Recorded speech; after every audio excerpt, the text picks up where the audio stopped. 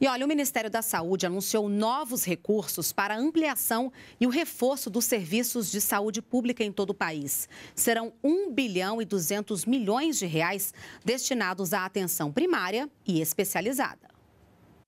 Os recursos serão aplicados na ampliação da oferta de serviços, desde aqueles mais simples, realizados em unidades básicas de saúde, até os mais complexos, oferecidos em hospitais gerais especializados e santas casas. Serão contemplados mais de 600 municípios nos 26 estados e no Distrito Federal. O dinheiro será utilizado na construção e reforma de prédios, compra de equipamentos, no reforço às mais de 1.660 santas casas espalhadas pelo país e na ampliação do serviço do SAMU, com a aquisição de ambulâncias para todo o país. A renovação da frota do SAMU estava dois anos. Nós renovamos a frota do SAMU do que é 20% ao ano, nós fizemos 40% da renovação da frota em um ano.